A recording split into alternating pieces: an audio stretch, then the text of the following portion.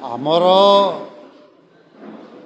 ପାର୍ଟିର ତେଇଶତମ ଓଡ଼ିଶା ରାଜ୍ୟ ସମ୍ମିଳନୀ ପୁରୀଠାରେ ଅନୁଷ୍ଠିତ ହେଇଛି।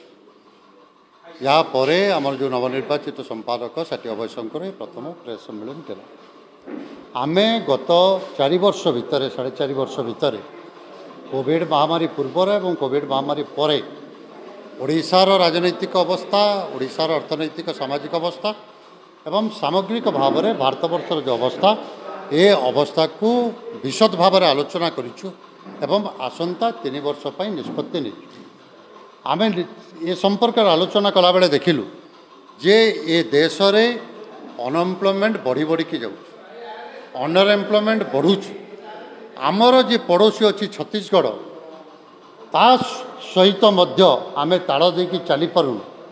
ଅନଏମ୍ପ୍ଲୟମେଣ୍ଟ ଆମ ରାଜ୍ୟରେ ତା ଅପେକ୍ଷା ଅଧିକ ଅଛି। ଆମର ଯେଉଁ ପଡ଼ୋଶୀ ରାଜ୍ୟମାନେ ଯେଉଁ ସାମାଜିକ ନିରାପତ୍ତା ଭତ୍ତା ଦେଉଛନ୍ତି ସେମାନେ ଦୁଇ ହଜାରରୁ ପଚିଶଶହ ଦେଲାବେଳେ ଆମେ ମାତ୍ର ପାଞ୍ଚଶହ ଟଙ୍କା ଦେଉଛୁ। ଆମର କୃଷି ଆଜି ବିପର୍ଯ୍ୟସ୍ତ ଅବସ୍ଥାରେ ଅଛି।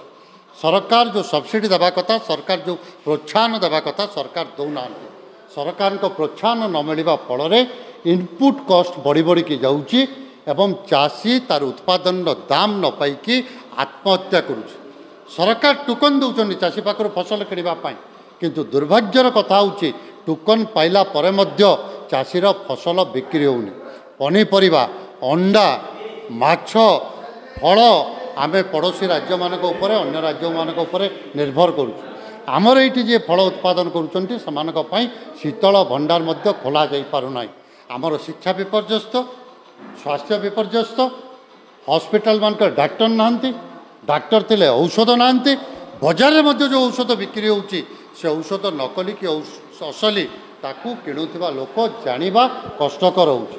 ତେଣୁ ଆମ ସମ୍ମିଳନୀ ନିଷ୍ପତ୍ତି କରିଛି ଆମେ ଏ ସମସ୍ତ କଥାକୁ ନେଇକି ସାଧାରଣ ଲୋକଙ୍କ ପାଖକୁ ଯିବୁ ଗାଁ ଗହଳକୁ ଯିବୁ ଯୁବ ଛାତ୍ରମାନଙ୍କୁ ସଂଗଠିତ କରିବୁ। ଆମର ମୁଖ୍ୟ କଥା ରହିବ ଯେ ସମସ୍ତଙ୍କୁ ଶିକ୍ଷା ଦିଅ ସମସ୍ତଙ୍କୁ ସମାନ ଶିକ୍ଷା ଦିଅ।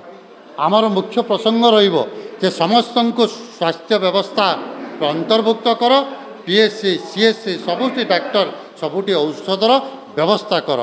ସମସ୍ତଙ୍କ ପାଇଁ ଶିକ୍ଷା ସମସ୍ତଙ୍କ ପାଇଁ ସ୍ୱାସ୍ଥ୍ୟ ଆକୁ ସାର୍ବଜନୀନ କର ଏବଂ ଯେଉଁମାନେ କାମ କରିବା ପାଇଁ ଯୋଗ୍ୟ ସମସ୍ତଙ୍କୁ ନିଯୁକ୍ତି ଦେବା ସମସ୍ତଙ୍କୁ କାମ ଯୋଗାଇ ଦେବା ଏ ଦାୟିତ୍ୱ ସରକାରକୁ ନେବା ପାଇଁ ହେବ।